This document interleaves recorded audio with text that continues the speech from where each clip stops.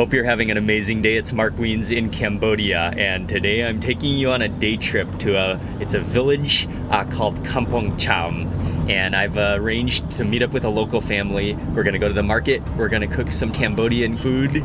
We're gonna eat, and we're just gonna walk around the village. And this should be a fantastic day of food and Cambodian culture.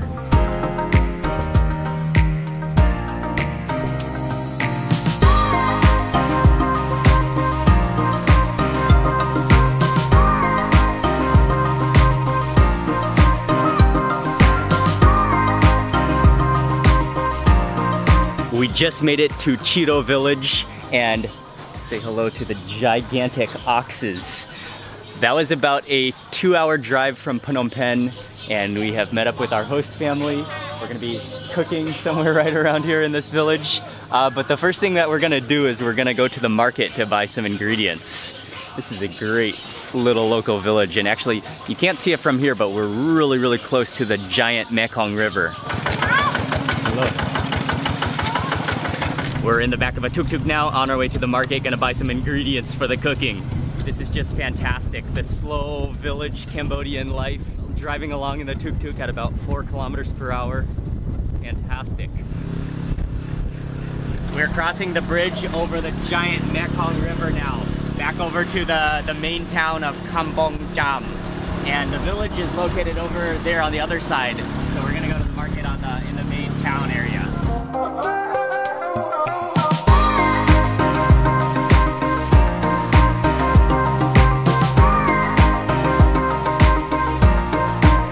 We just arrived to the local market and we're gonna buy the ingredients for today's cooking.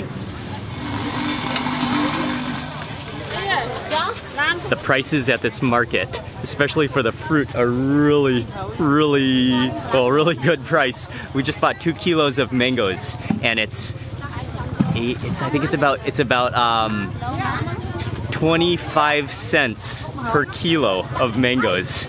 That's, that is a good price.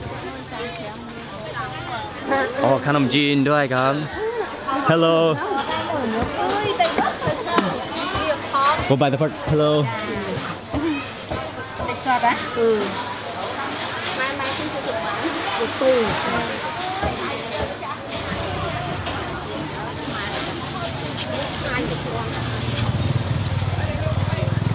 as they're gathering and buying the vegetables and the ingredients we had to we had to stop for a little durian this morning for breakfast. She chopped one up stuck it into a styrofoam box and it is it is ready to eat. This is a really fantastic market and you have to you have to crouch down to fit through this market. But they have so many local ingredients uh, from this Mekong region and people are so extremely friendly as well. Lots of little fish. Wow what a what a fantastic market.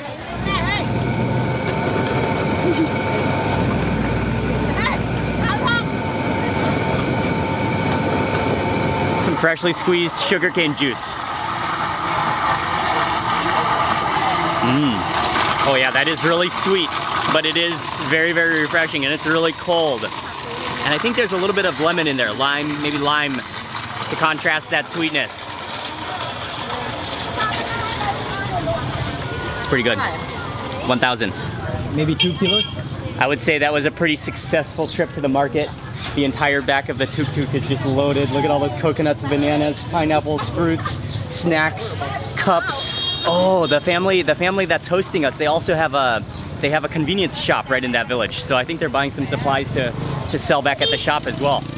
Oh yeah, and we've got boxes of things. We've got random stocks of bananas. Cholo. Dude, this is proper. This is like use of every single horizontal space. Joel got the VIP seat. and what a fantastic place to, to share a treat that we just picked up at the market. Oh.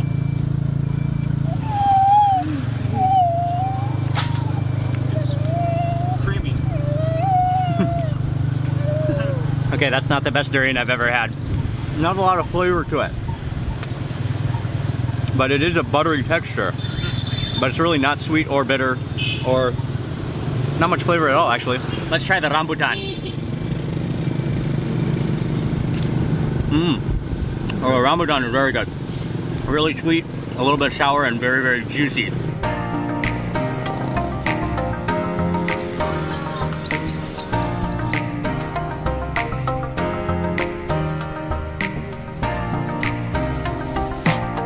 We successfully made it back from the market. That was quite a quite a journey in the tuk-tuk. But these tuk-tuks are fantastic. They're like they're almost like horse horse carriages. They're pretty comfortable.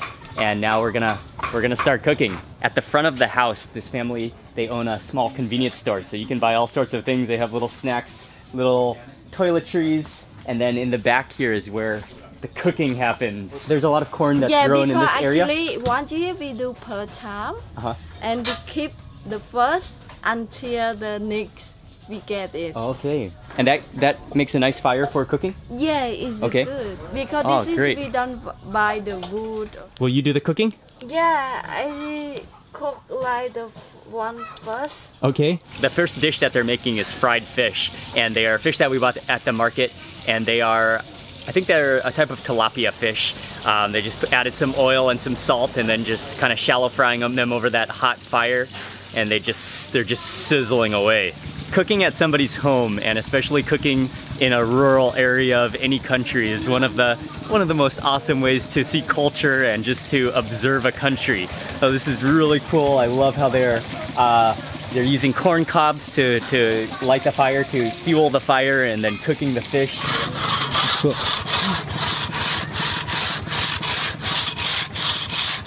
We got some ice delivery. Oh, looking at those onions. Hey, guy. Oh yeah. Hi. That is going to be fantastic. She is prepping the ingredients for a local curry, and all the ingredients are not even from the market, but they're from right here in this this community, right here in this village. The lemongrass, the galangal. Oh, that's going to be a wonderful curry. I can't wait wait to taste the the local curry. In that curry paste, it's very heavy on the lemongrass. Lots and lots of lemongrass. There's some turmeric in there. There's some galangal, and think that's mainly the ingredient so far. And now she's gonna chop up the, the chicken. Is that gonna be for the curry? Yeah. Oh, and Joel's, Joel's pounding the curry paste. the secret, the secret to all the dishes. coi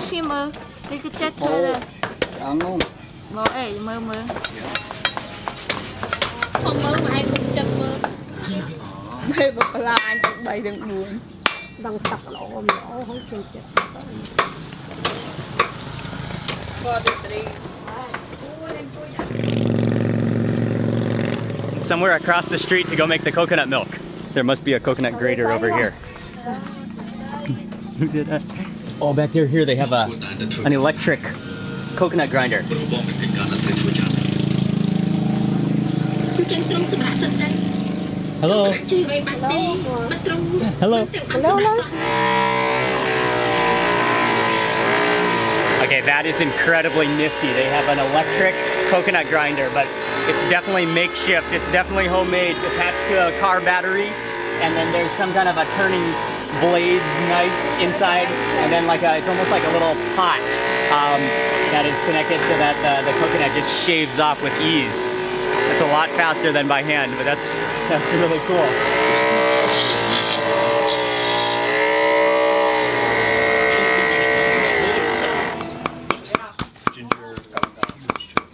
Just squeeze that freshly grated coconut with a little bit of water and that pure coconut cream is released. Oh, it's one of coconuts are one of the greatest things in the entire world. Oh, this is shrimp paste. Kapi. Kapi? Yes. Oh, same in, come in. Hmm? Kapi? Kapi, yes. Ah, okay. Shrimp. Thailand also? Shrimp, yes. Kapi. Yep. The time has come for the curry. This is what I've been waiting for. Oh, and uncle I think Uncle is the main curry chef, the curry master. And so they put a uh, pot onto the fire and put up. Whoa. oh, some cats fighting. Um, they just added in the, some of the coconut cream first. The curry so far is absolutely stunning. Uncle first uh, sizzled or simmered down some coconut milk with some oil, and then added in the chili, and then added in the shrimp paste, and just let it's letting that just. Well, I'm getting a lot of smoke in my eyes. Letting that just sizzle and just just soak up the flavor and just it just Okay, I gotta step outside. And just letting that just soak up all of that flavor and just, oh man, I'm tearing from that smoke. It is, it is tough work cooking, cooking over the, over the fire and maintaining the fire. Oh, here goes in the, the curry paste. All that lemongrass and the galangal. That's all paste dude. That is gonna be flavorful. Wow.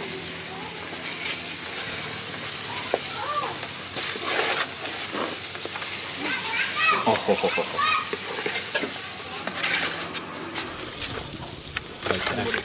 Chicken? Oh, okay. Okay, Ba này đánh mai vui nè. Trong thân tiêu nữa.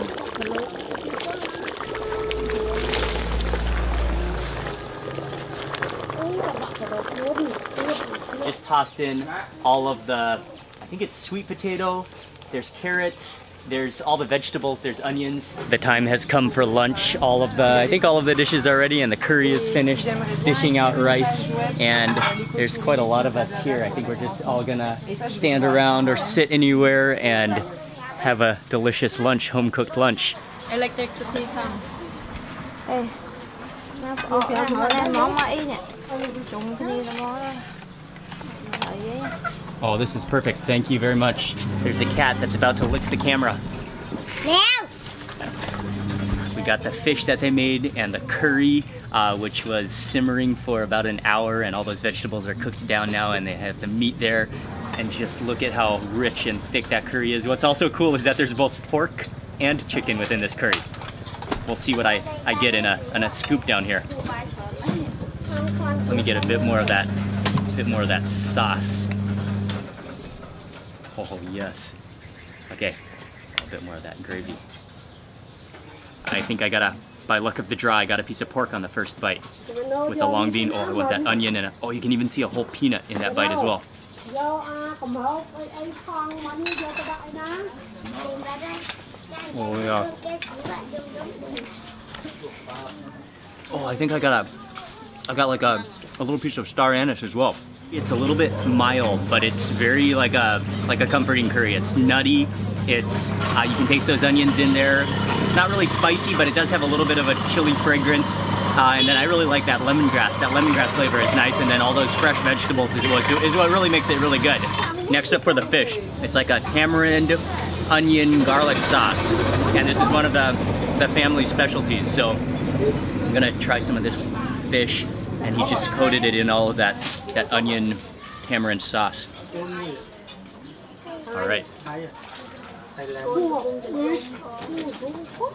Mm. Oh yeah. Oh, the fish is amazing. It has that like sharp sourness of tamarind, but it's not that sweet. And then it's nice and salty. The onions are just lightly sauteed, so they're still quite strong. That goes wonderfully well with the fish. Oh, and it's nice and like it's kind of like it's kind of like salty to the point where it sort of gives your your tongue a little zing, but in a really good salty kind of way. This is a local dish from right here, and it's called mok. It's called mok. It's amok. It's a type of amok. Yeah, but this is we call amok. There's minced meat in there, and then, then it's boiled along with eggs, With egg. mixed with eggs, and then boiled with some spices. Yeah. It's kind of salty. It kind of does have a cheesy, cheesy taste to it, um, and then that goes really well with the the cabbage and the the long beans. It, a little bit goes a long way. A little bit flavors a lot. It's pretty pretty salty and flavorful. Whoa. And it does have almost a, a slightly fermented taste to it. It has a little bit of an aged flavor to it, like an aged cheese.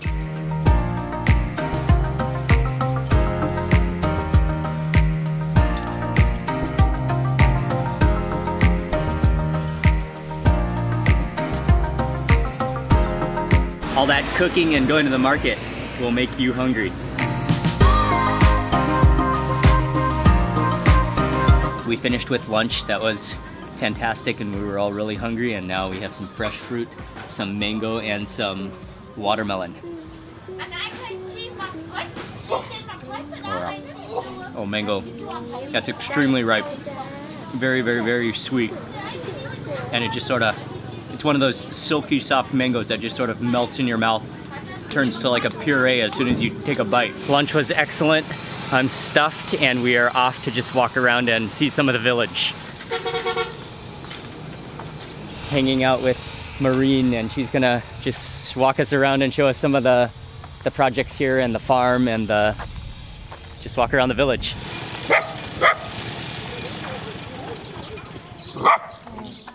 Uh, we have a guest house. Okay. Like with the bungalows. Yeah. the- Hello.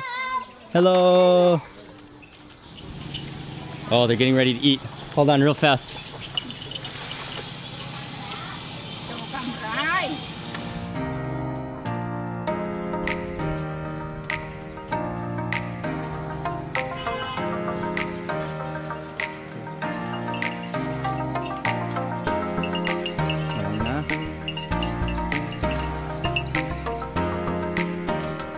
Just came to visit the village and the NGO on a day trip and just to eat lunch and cook. But they also have some bungalows here. So if you want to spend the night and just enjoy this beautiful village and peacefulness and the amazing Cambodian culture, you can come to stay here and stay in one of these bamboo bungalows. Really cool. Next time, we'll come to stay. Hello. Hello, bonjour. Bonjour. Hello.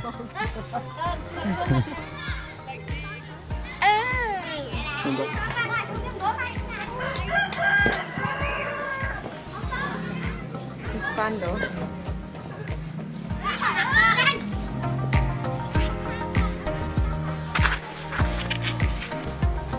We're getting ready to leave, but I just wanted to quickly show you. I'm gonna go to the bathroom and I just wanted to really quickly show you inside the house. It's just a big open space and the, even the the floor is all made of bamboo, so it has this really, it's really clean and kind of bouncy. Uh, and that keeps it cool on the inside. And then there's just various corners with uh, mattresses and beds and mosquito nets. So it's like just a, it's almost like a, a longhouse style of, of accommodation and just um, the, the families all have a different section of the, of the house. But it's really cool once you get in here because you, you got that airflow breeze. Such a wonderful village and such a such a community of friendly people. And you can just walk around, you can just get kind of lost in this village and people will point you in the right direction. There are friendly kids. This is great. And you can just feel the the pace of life here is just on a on a on a lesser, slower level, which is fantastic. Bye bye. Whoa. Hello. And you're gonna love the kids here too. They're awesome. Bye bye. High five. Bye bye. Bye bye. Bye bye. Bye bye. Bye bye. Oh, bye bye.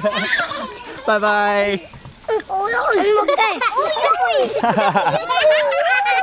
You're gonna love the people in this village. They're so friendly and the kids, well, kids around the world are so, so incredible. And I organized this uh, entire day trip from Phnom Penh by contacting Cheeto Village and uh, we paid $22 per person. They offer a cooking class, but I asked them if we could just come to the homestay and have a kind of a just cooking with the family and eating and that's exactly what we did. I wanna say a big thank you to the host family for uh, showing us how to cook and for just hanging out and also to the volunteers who we met while we were here. This was fantastic. And thank you very much for watching this video. Please remember to give it a thumbs up if you enjoyed it. Also, I'd love to hear it from you in the comment section below. And if you're not already subscribed, subscribe now for lots more food and travel videos. Goodbye from Kampong Cham in the village of Chiro. And I will see you in the next video.